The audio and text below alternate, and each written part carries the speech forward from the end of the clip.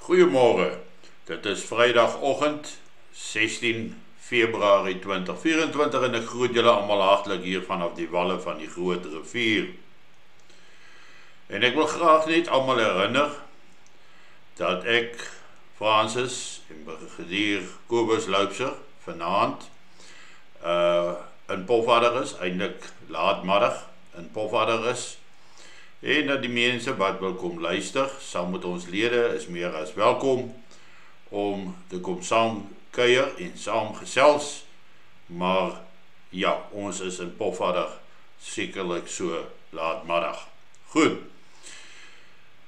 In Groblersdal waar uh, eh, TB Wessels, François van der Merwe uh en Willem Petzer en uh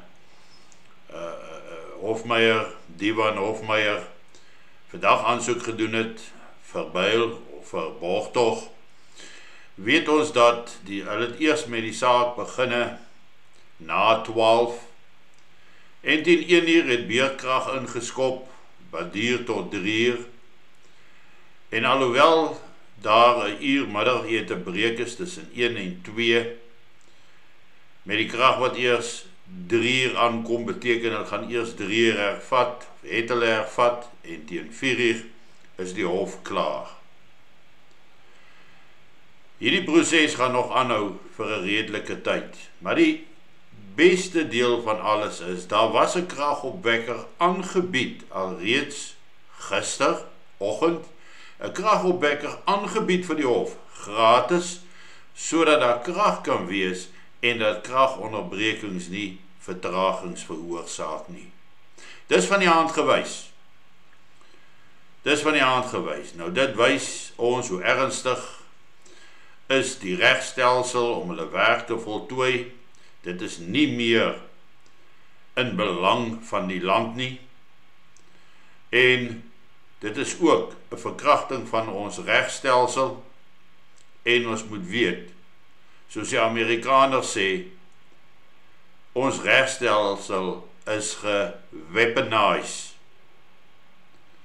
geweaponize om gebruik te word teen diegene van wie hulle nie wil hou nie.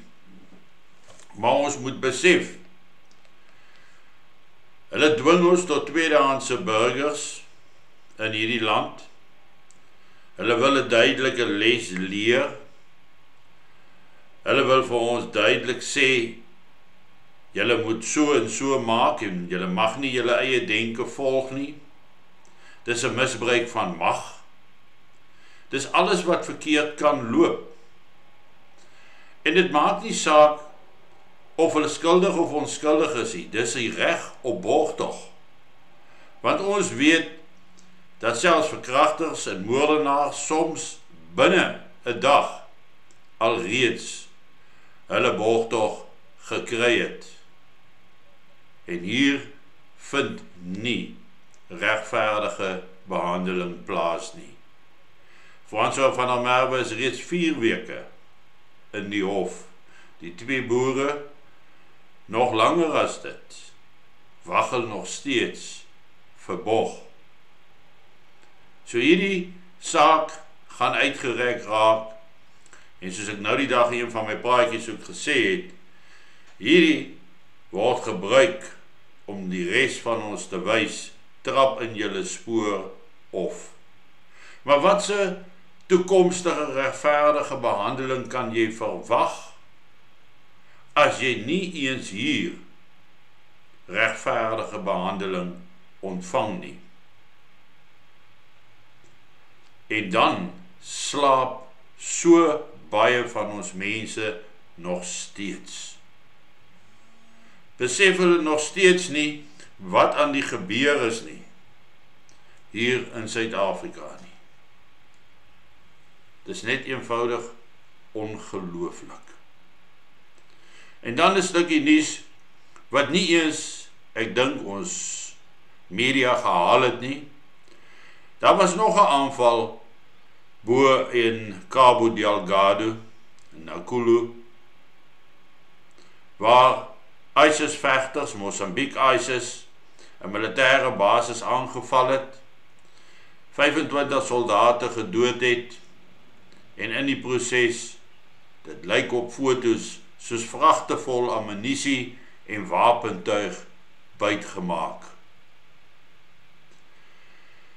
Maar dis asof hierdie tipe van geweld in die wêreld ongesiens verbygaan en omdat mense dit nie sien nie, nie hoor nie, trek hulle dit nie aan nie en is hulle nie bewus van hierdie goed wat daar gebeur nie. Want dis 'n opmerking wat iemand gemaak het waarin hy sê dit is net die tip van die ysberg. Want die grootste mag van daardie groepering is in Suid-Afrika.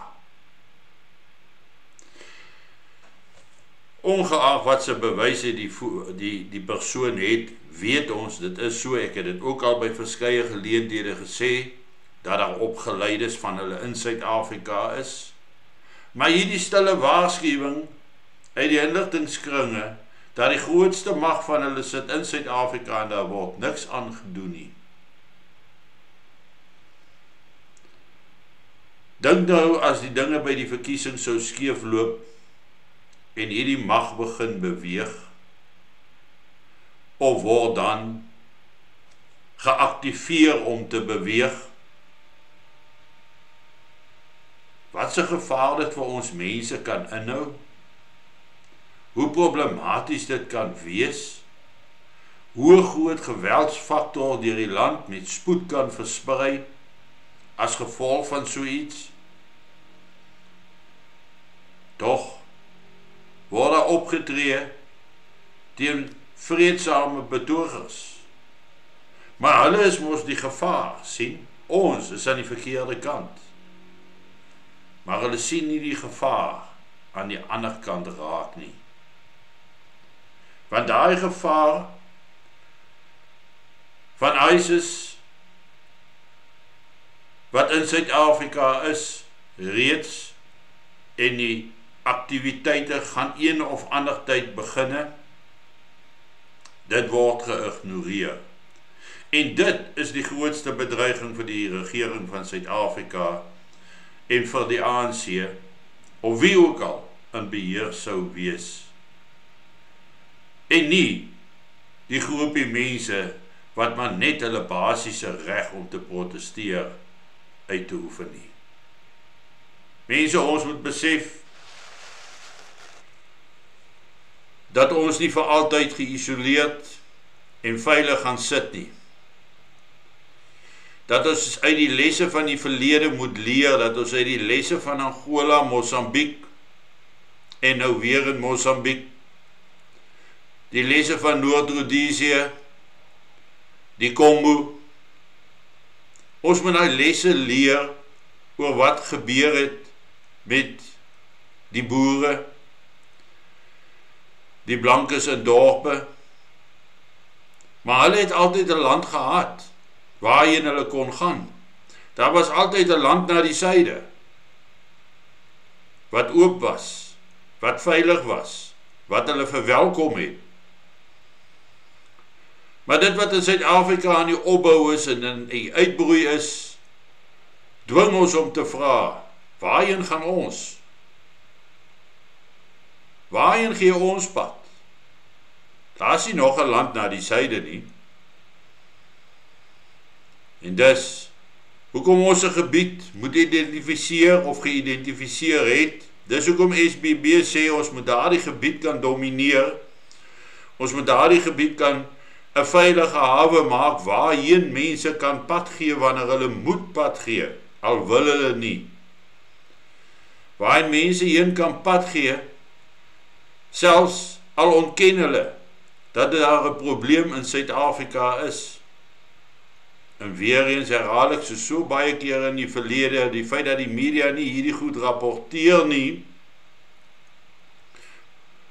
dra by tot die feit dat mense se oë nie oopgemaak word nie en dat hulle nie sien wat gebeur nie. Ons sit met geweldige bedreigings boonbehalwe die Eskom situasie, die finansiële situasie van Suid-Afrika, die feit dat Suid-Afrika self nou by terroriste organisasies geskaar het soos Hamas en moontlik self weer as 'n terroriste land verklaar kan word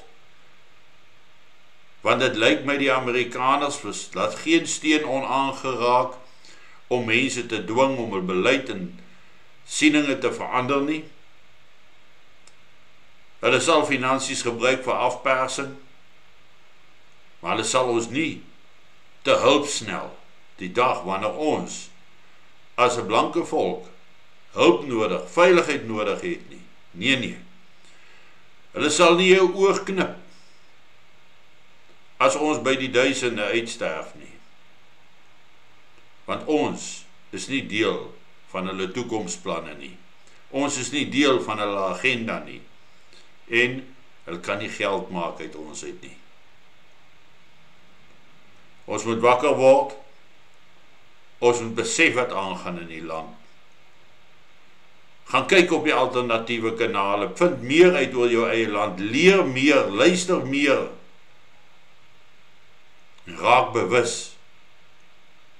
En ongeag hoe oud, hoe jonk, hoe beweeglik, hoe onbeweeglik jy is, as hierdie geweld uitbreek en die land stort in anargie in,